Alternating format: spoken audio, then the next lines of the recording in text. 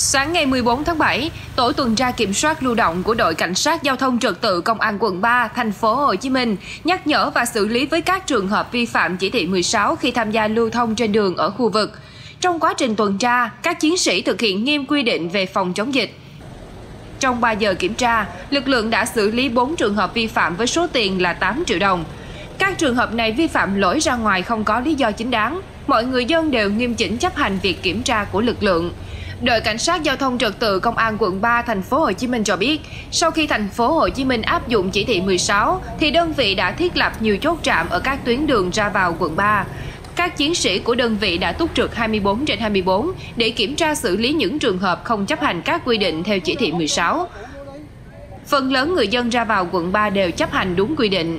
Nhờ linh động nên trong những ngày qua, trên địa bàn không có tình trạng ủng ứ giao thông tại các chốt trạm kiểm soát dịch bệnh COVID-19 trên địa bàn.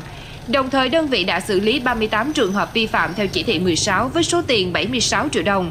Trong thời gian tới, các đơn vị sẽ tiếp tục tăng cường kiểm tra lưu động trong phạm vi và các tuyến đường xung quanh các chốt trạm trên địa bàn. Lãnh đạo Công an quận 3 thành phố Hồ Chí Minh cho biết, ngay khi thành phố Hồ Chí Minh thực hiện chỉ thị 16 của Thủ tướng Chính phủ, các cán bộ chiến sĩ đã túc trực ngày đêm. Nhiều chiến sĩ không về nhà để đảm bảo an toàn cho gia đình và hoàn thành nhiệm vụ trong cuộc chiến chống dịch COVID-19.